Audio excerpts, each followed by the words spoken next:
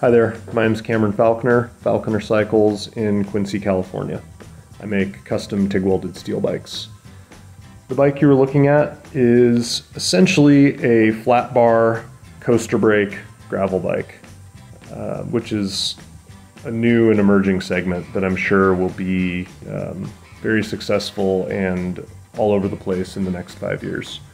Uh, this bike is, uh, all sarcasm aside, kind of an oddball something I'd been wanting to make for a while. It's inspired by 1890s era pneumatic tire safety bicycles, which were the first bicycles that had all the elements of modern bikes, being equal size front and rear wheels, pneumatic tires, and a chain drive.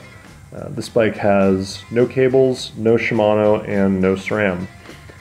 The handlebars were made here. They're 30 degree bend titanium bars. The front rack is made from two pieces of curved titanium sheet metal and is designed to hold small light things like sleeping bag as I plan to use this bike for short overnights and mellow dirt road riding. Um, tubing's mostly Columbus.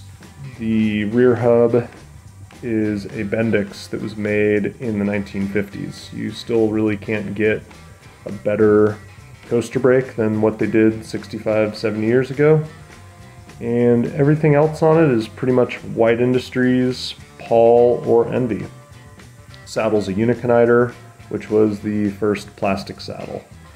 Thank you all for looking, and have a good day.